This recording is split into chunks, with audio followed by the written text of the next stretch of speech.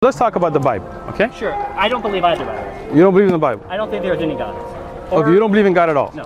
Okay, so That's, that's, that's, the scientific miracles, the linguistic miracles, the mathematical miracles, the historic evidence. the- if you put all of that together, Sure. I believe an illiterate man in a desert Uh-huh. that had no access to such knowledge, that had never been to an ocean, would not know that there are waves underneath the ocean, that would not know that sweet Okay, water that. and salt water. Yeah. Those things that the Arabs didn't know, that they, they disputed about, but they were, came to be true, Okay. this shows the miraculous nature of the.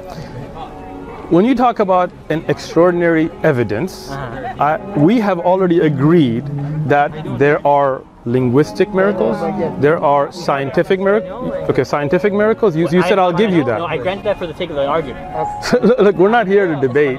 If you granted it, that means it's been granted. That no, no, means we've granted that for the established it. So, so, so, so, so, okay. You said you will grant us that there are scientific miracles. For the sake of the argument, yes. Okay, so we are saying that. I don't believe that argument. I I don't see it that way, but go ahead.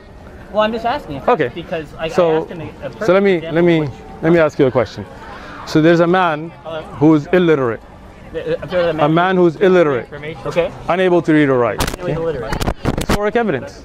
What's, the, Right. for, what, what's the evidence? Every first-hand source, the people that were there, said he was That would be illiterate. If you, if, you, t- if you tell me something that's No, no. So, so people that are there that physically see yeah, him, what is that? secondhand. That's first-hand, First, right? No, first hand is when you testify. So those people that testify, Or second hand.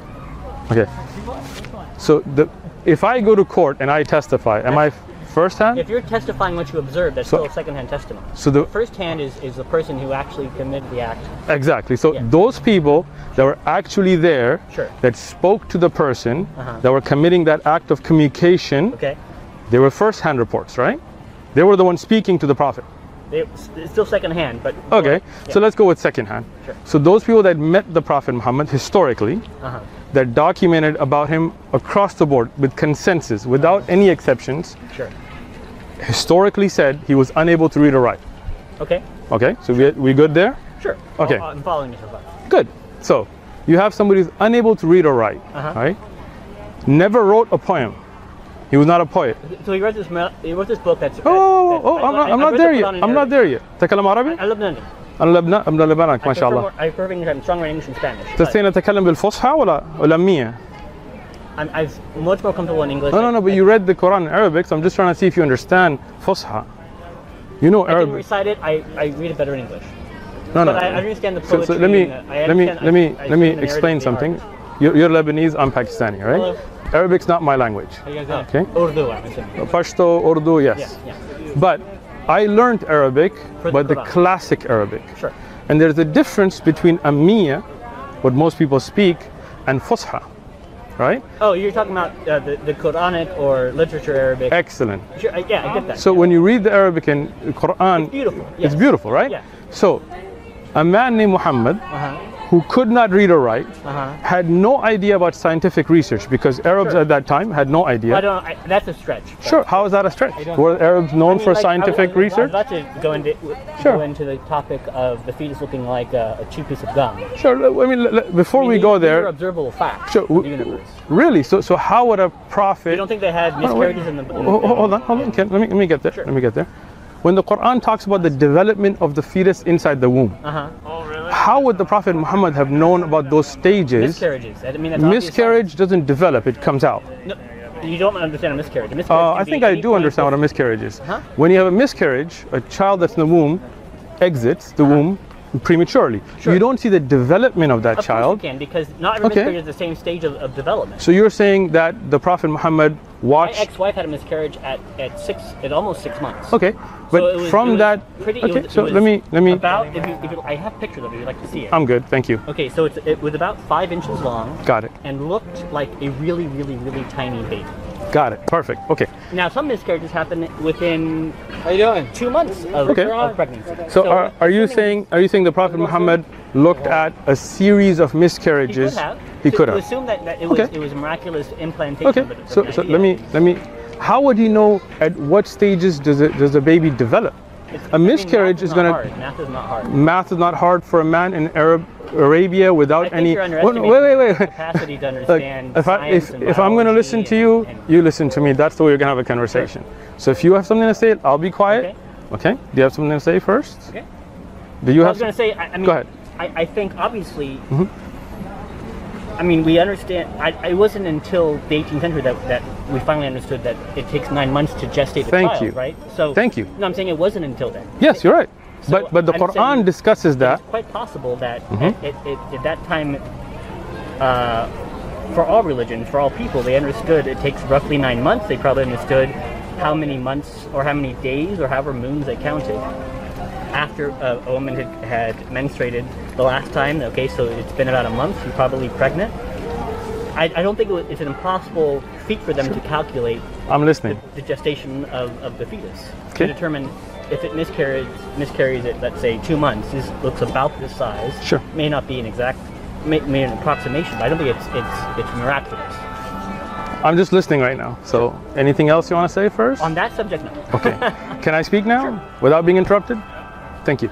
So, if we talk about a miscarriage, uh-huh. if you're like a midwife, maybe you see a lot of those. As a regular person, I'm sure you saw one, I'm assuming. You don't Couple. see a I couple. used to be a preacher Sure, you used to be a preacher, so you've seen a couple. But you, you don't see them like every day in different stages. And that's not going to tell you how the flesh goes around the bone, how the fetus develops, unless that's all you're doing as research, right? That's but that's just only okay, sure. But that's not it. That's not just the only miracle, right? There are so many scientific facts. For example, the waves that are underneath the ocean, right? that's that's observed too How? How? You would Oh have to God, go to. who, Go ahead, I'm listening. Uh, Excellent. currents. The Prophet Muhammad, peace be upon him, never went to the no ocean. exposure to people who did Nope. he had He- never met somebody who'd been look, look, sea look. He himself had never dived or been to an ocean. Okay. At the time, the Arabs were not snorkelers. Okay. I'm so- no, wait, wait. Let me. these- I'm gonna grant you all the me. miracles. All Okay, we got all the miracles. We granted it. Oh, I'm Okay, I'm gonna grant you all the not, not miracles. I'm gonna grant you all the claims. Well, you just said miracle. Now you're gonna change it. I don't believe in miracles. okay. Well, you're a I'll preacher. You don't believe in all the miracles. supernatural claims. Okay. How do you know that because of God? Excellent. If a man who is illiterate Uh-huh. brings forth a literary work Uh-huh. that the Arabs could not match, all of the poets, right? Granted. All Arabic grammar goes back today to the Quran. Nahw and sarf and all that. You agree? Grant that, I grant that too. Excellent. And it has scientific miracles. Let's grant that too. And it talks about the solar system and everything in Yeah, I balance. grant all of You it. grab all of it. Okay, we're, we're getting there, right? I don't actually believe this, but I'm granting it for the argument. Well, if you're granting it, then here we're, we're going to say that it stands, right? Yeah. Then we say that there has to be a explanation for this, right? Okay. So the Quran itself explains that. It explains that this is not the words of Muhammad, peace be upon him, right? Rather, please, go ahead. Rather, this is a divine message. Even when you look at the story of Joseph in the Quran, one of the one of the the Jewish uh, rabbis objected. Uh, why was Joseph in? Uh, why was Musa in Egypt?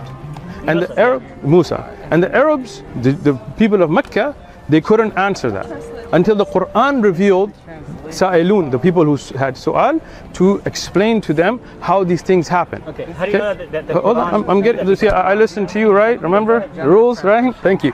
So, if it was just one scientific miracle, we could have said it's a guess. Okay?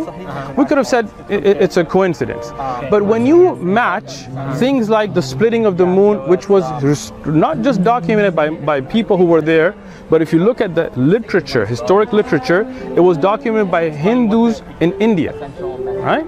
I can send you all the references if you like. I taught this. So, sure. Sure. Hold so on, let me. hold on, because you made a huge claim that requires some All kind of right, all right, can I can I oh, finish No, no, no, and then no, I'll let you finish? You're, you're now I'll let you interrupt me. Go You're ahead. trying to confirm Go ahead, go ahead. miracle in the Quran with Go ahead. miracle from a book you say mostly is not true. I'm sorry.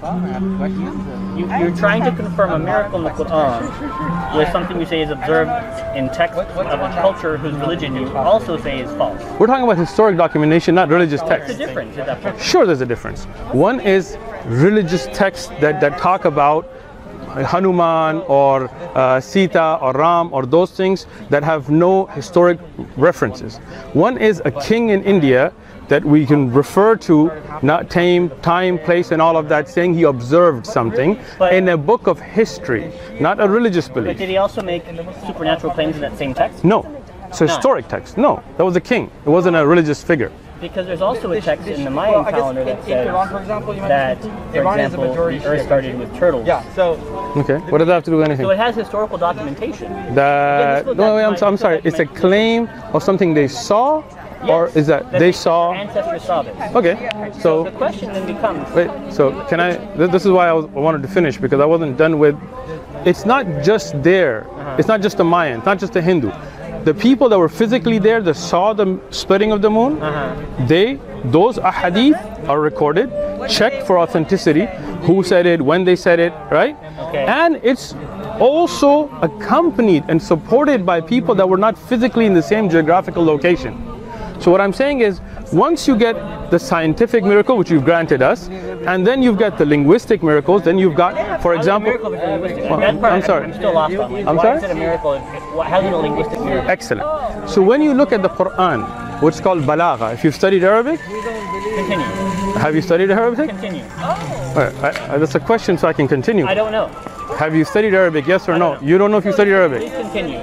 Oh, wait, wait. I'm sorry. I'm sorry. Look, I'm trying to have a civil conversation. Then I don't speak any But the reason, the reason I'm asking Uh-huh. is because if you have, then I can explain things to you with the essence of balagha, and if you haven't, then I have to explain that.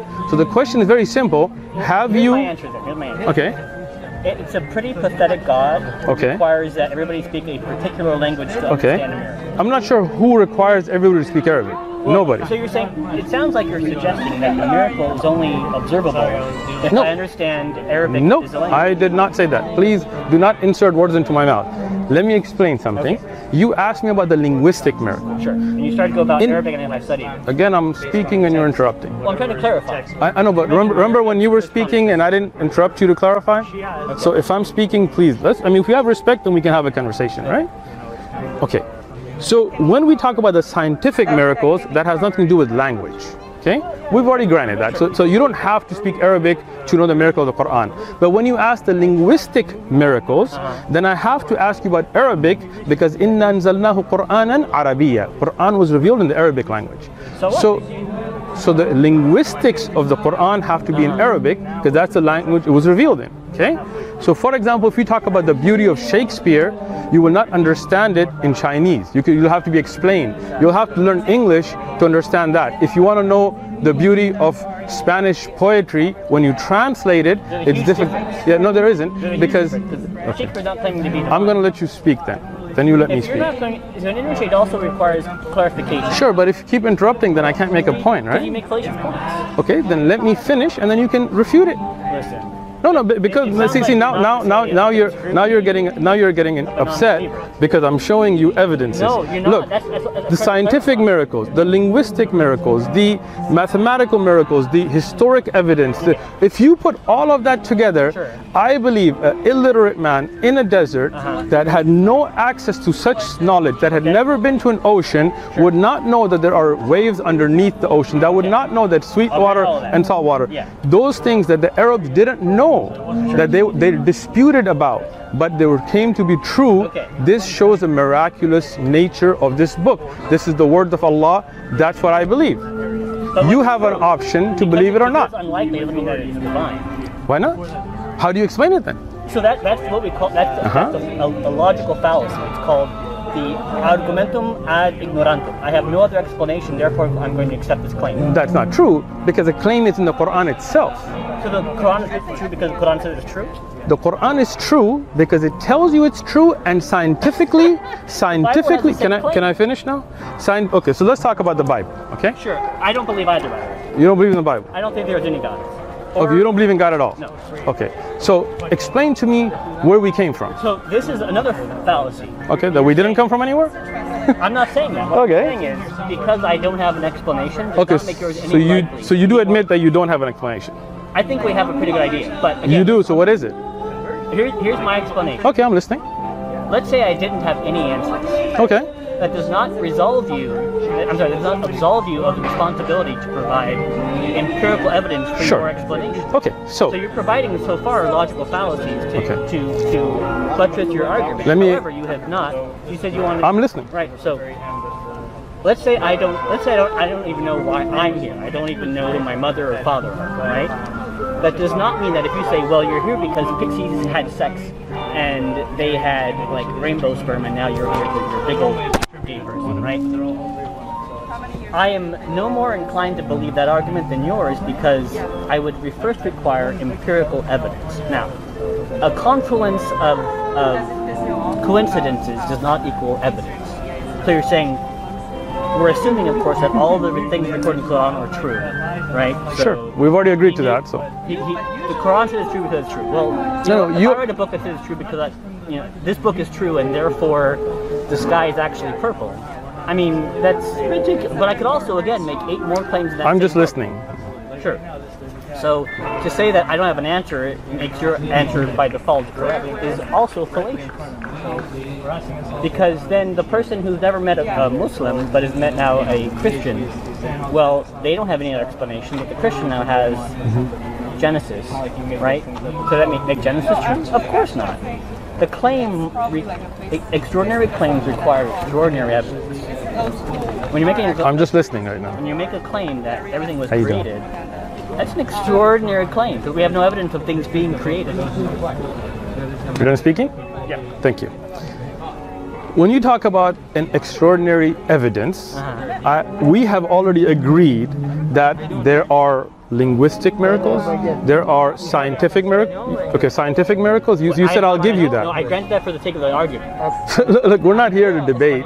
If you granted it, that means it's been granted. That no, no, means we've granted it for the established it. So, so, so, so, so, okay. You said you will grant us that there are scientific miracles. For the sake of the argument, yes. Okay, so we are saying that I don't believe that there. That there are you can believe whatever you like, okay? But if there are scientific miracles, for the sake of the argument, you've granted it, so you can't go back now. No, no, I'm not granting it. Look at you. What I'm saying is, I'm allowed. Look, okay, so if you allow me, then let me continue. You, you see how I listen to you, and you're interrupting me the whole time now, right? You guys just sound like like. No, no, no, You this is- can't make a continuous argument.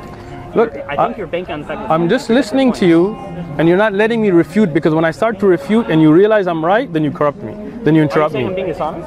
Uh, yes, you are, in a way. Bye. Have a nice day.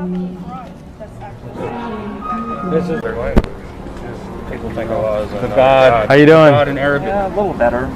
Oh, are you even sick or? Yeah, I fell on the hot. Well, I fell on my heart Oh no! on the ground. Sorry to hear that, man. I'm all right. Get something. Sure. Yeah, this is if you're gonna get anything. Just something Just take small, yeah. There you go. I'm a Pocket size? There you go. Yeah, there you Sure go, man. Alright, thank you. Read up. Welcome. Let us know if you have any questions. We're here. All right. Hope Thank you feel better.